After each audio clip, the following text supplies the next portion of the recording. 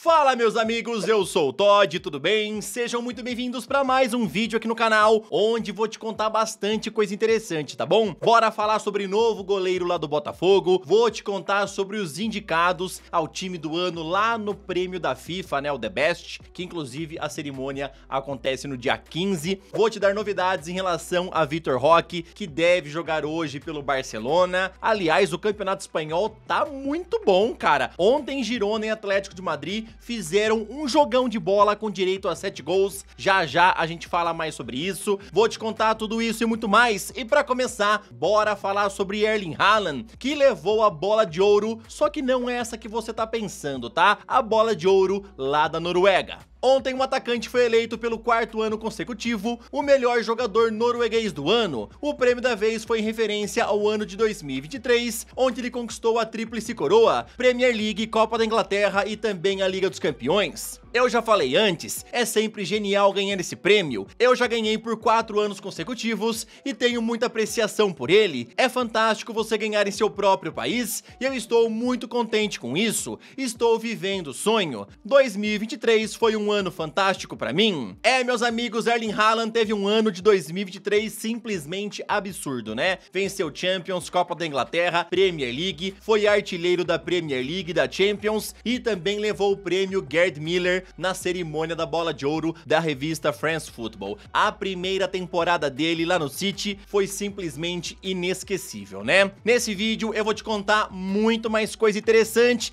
então vocês já sabem, né? Solta a intro!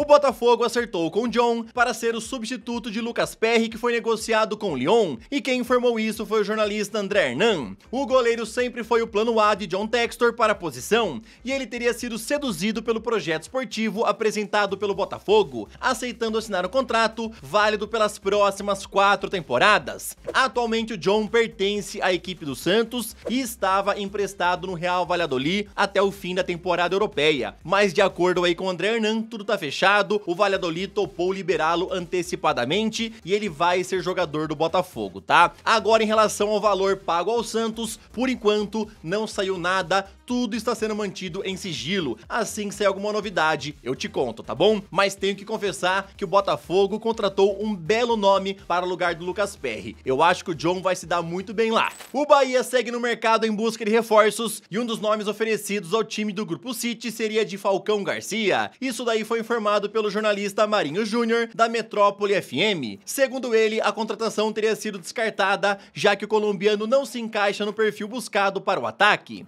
Agora, quem estaria perto de chegar como reforço é o lateral esquerdo Iago, e de acordo com o jornalista João Gabriel Leiro, as negociações com o Augsburg da Alemanha estão avançando bastante. O Internacional também tem interesse em repatriar o lateral esquerdo, porém, nesse momento, os baianos estariam na frente, tá bom? Eu quero saber agora de você você, torcedor do Bahia. O que, que você pensa em relação ao Falcão Garcia, tá? Você acha que ele poderia se encaixar no time ou realmente é melhor rejeitar, já que não faz parte do perfil? Você queria ver o Falcão aí no time do Bahia? Comentar é. Ontem começaram a surgir especulações de que José Mourinho seria o grande alvo da CBF para assumir a seleção brasileira, onde jornais como Esporte da Espanha e também o Gazeta dello Sport da Itália repercutiram o assunto. Então o próprio técnico já tratou de responder aos rumores rumores e em coletiva ontem falou o seguinte: ninguém me procurou ou meu agente do Brasil para ser o novo técnico da seleção brasileira. Lembrando vocês que a CBF ainda continua uma bagunça, né? Edinaldo Rodrigues segue afastado do cargo de presidente, então não sabemos quem será o próximo presidente da CBF, então está uma zona. Enquanto isso, Fernando Diniz continua como interino. Eu acho que a gente só vai ter alguma novidade sobre o alvo real da CBF para assumir a seleção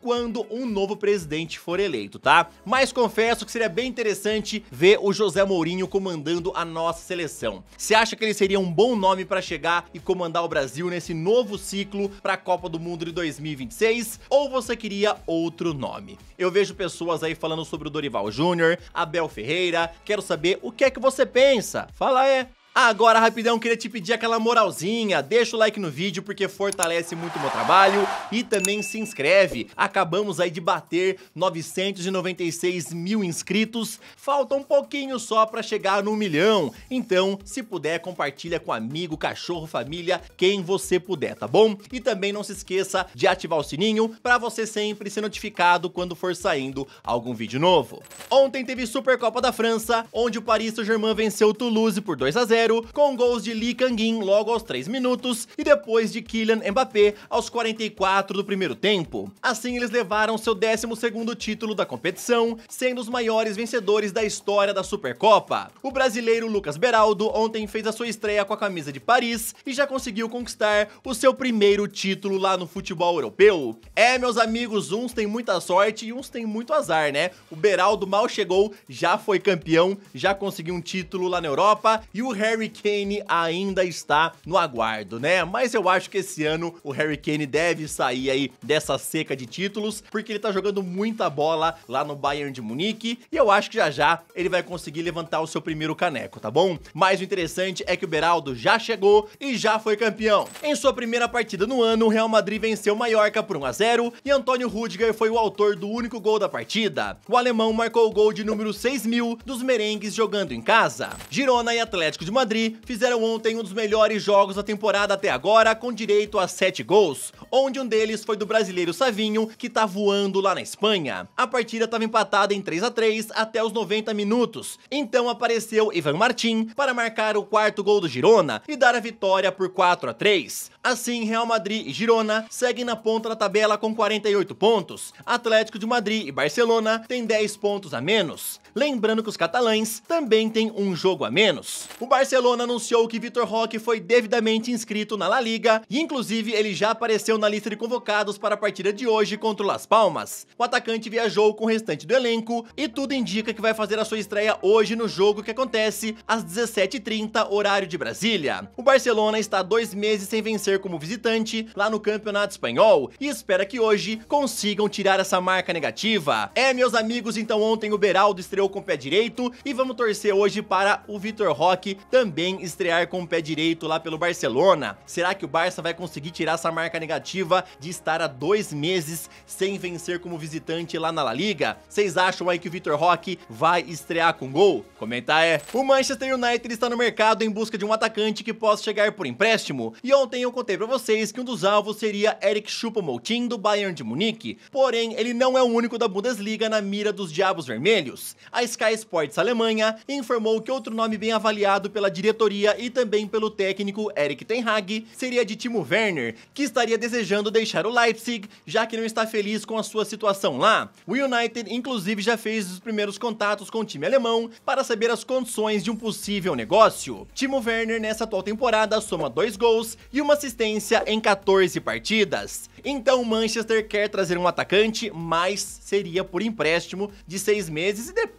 veria se contrataria ele em definitivo ou não, tá? Vários nomes são sondados e por enquanto os dois divulgados pela imprensa são do Choupo-Moting e também do Timo Werner. Entre esses dois, quem que você acha que seria o melhor reforço para o United nesse mês de janeiro? Fala é. E para encerrar o vídeo, bora falar sobre o prêmio The Best. Ontem a FIFA anunciou os 23 jogadores indicados ao time do ano, né? O time ideal de 2023. Então temos 23 jogadores concorrendo a 11 vagas. E nesses indicados aí temos três brasileiros. Bora ver essa lista. No gol temos Courtois, Ederson e Martinez. Lá na zaga temos Dias, Van Dijk, Militão, Rudiger, Stones e Walker. No meio campo, Bellingham, De Bruyne, Gundogan, Modric, Rodri, Silva e Valverde. E lá no ataque temos Benzema, Haaland, Kane, Mbappé, Messi, Cristiano Ronaldo e Vinícius Júnior. Então esses são os indicados ao time do ano lá do Prêmio The Best. Lembrando que a cerimônia acontece já já, tá? No dia 15 de janeiro saberemos aí o melhor do mundo de acordo com a FIFA, também o time ideal e outras premiações mais. Eu quero saber a tua opinião, tá? Coloca nos comentários, desses 23 jogadores, qual que é o seu time ideal de 2023.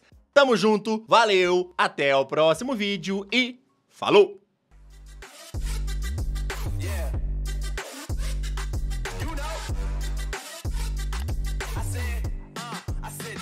from being long night.